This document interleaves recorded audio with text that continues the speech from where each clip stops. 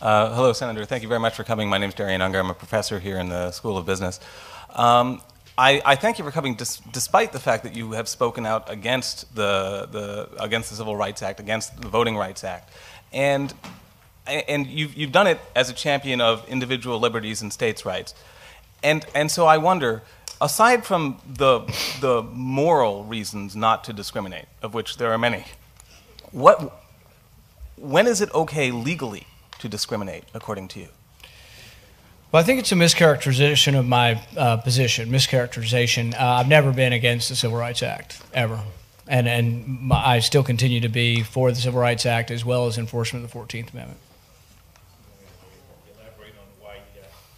Well, the the I mean, there was a I mean, there was a long was there was a there was a long one interview that had a long extended conversation about the ramifications beyond race, and I have been concerned about the ramifications of certain portions of the Civil Rights Act beyond race, as they are now being applied to smoking, uh, menus, uh, you know, listing calories and things on menus, and guns.